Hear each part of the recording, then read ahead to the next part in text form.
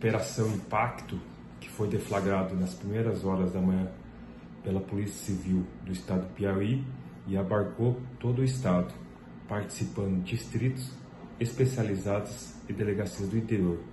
Essa operação visa o cumprimento de mandados de prisão por crimes graves, entre eles homicídio, roubo, tráfico, estupro, latrocínio, entre outros crimes.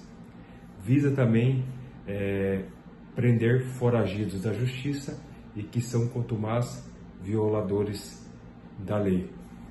Nesse momento estamos fechando a operação. É, tivemos 40 prisões entre mandado de prisão e auto de prisão em flagrante confeccionado. É, tivemos apreensão de grandes quantidades de entorpecente. Foi apreendido também várias armas de fogo e também uma grande quantidade é, de munições. Uma operação determinada pelo secretário de Segurança Pública, Coronel Rubens, e também pelo delegado-geral Luci Keiko.